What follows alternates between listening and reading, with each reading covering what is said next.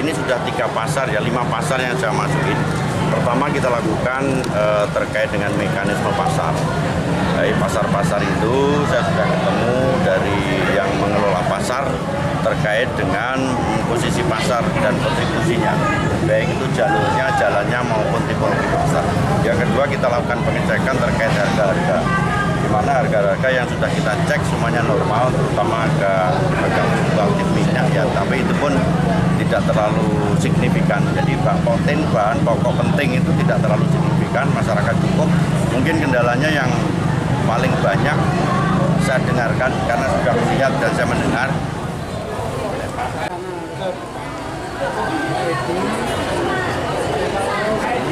Gimana? sama awet ya gak banyak Kayak hari biasa pakai yang dari biasa ya ya rame boleh rame pak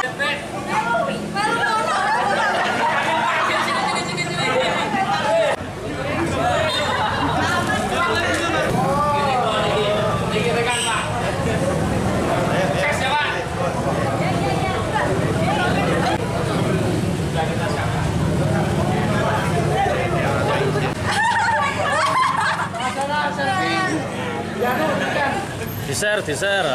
kendala ini tanah minyak? Paling sing sing buka mesin nih. 15 setengah sing botol ini 12 setengah ayo telur. Paling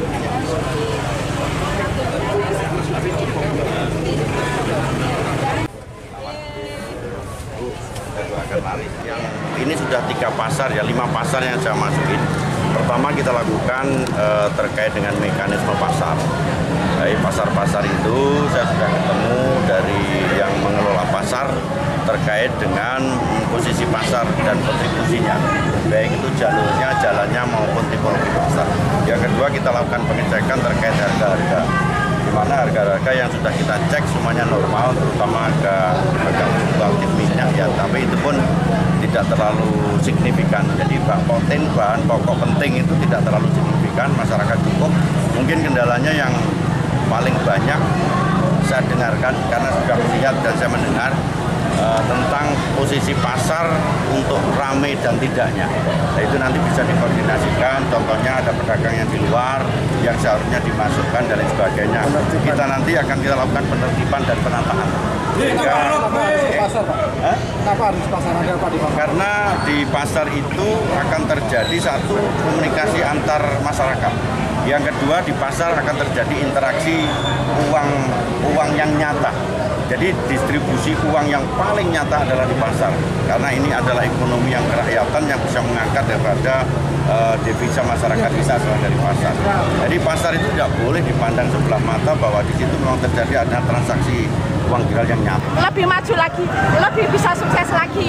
Dan banyak-banyak pembangunan yang harus diselesaikan, dan bisa membenahi pasar Bintoro. Ya, pasar Bintoro jangan lupa, jalannya ini harus diperbaiki ya. Rusak sudah lama tidak ada yang mau perbaiki ya.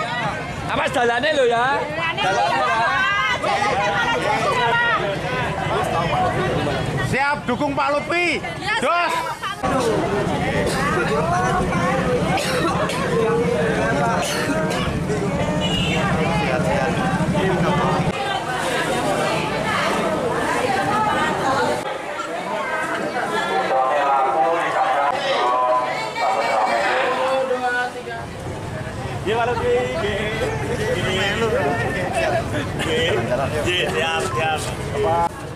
Pasar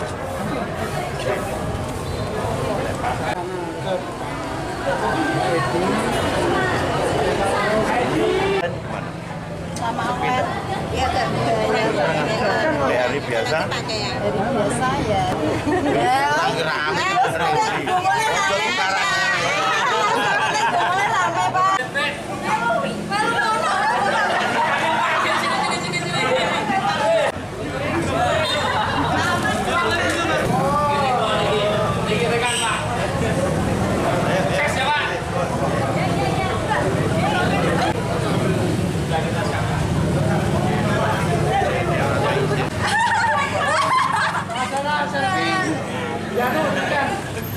Diser, diser. kendala ini tanah minyak paling sing susah menyakit sing mudah nih. Belas setengah sing botol ini belas setengah Ayo, telur. Tapi cukup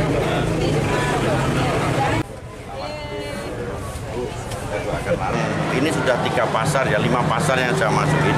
Pertama kita lakukan eh, terkait dengan mekanisme pasar dari pasar-pasar itu saya sudah ketemu dari yang mengelola pasar terkait dengan posisi pasar dan kontribusinya baik itu jalurnya, jalannya maupun tipologi pasar. Yang kedua kita lakukan pengecekan terkait harga-harga. Di mana harga-harga yang sudah kita cek semuanya normal terutama harga harga fluktuatif minyak ya. Tapi itu pun tidak terlalu signifikan. Jadi bahan protein bahan pokok penting itu tidak terlalu signifikan masyarakat cukup. Mungkin kendalanya yang paling banyak saya dengarkan karena sudah melihat dan saya mendengar eh, tentang posisi pasar untuk ramai dan tidaknya. Nah, itu nanti bisa dikoordinasikan, contohnya ada pedagang yang di luar yang seharusnya dimasukkan dan lain sebagainya. Kita nanti akan kita lakukan penertiban dan penataan. Pasar? karena di pasar itu akan terjadi satu komunikasi antar masyarakat. Yang kedua di pasar akan terjadi interaksi uang uang yang nyata. Jadi distribusi uang yang paling nyata adalah di pasar. Karena ini adalah ekonomi yang kerakyatan yang bisa mengangkat daripada eh, devisa masyarakat bisa asal dari pasar. Jadi pasar itu tidak boleh dipandang sebelah mata bahwa di situ memang terjadi ada transaksi uang viral yang nyata. lebih maju lagi, lebih bisa sukses lagi. Dan banyak-banyak pembangunan yang harus diselesaikan, yang Dan bisa selesai. membenahi pasar Bintoro. Ya, pasar Bintoro jangan lupa, jalannya ini harus diperbaiki ya. Rusak sudah lama tidak ada yang mau perbaiki ya. Sama awet. Iya kan? Di hari biasa Hari biasa ya. Ya.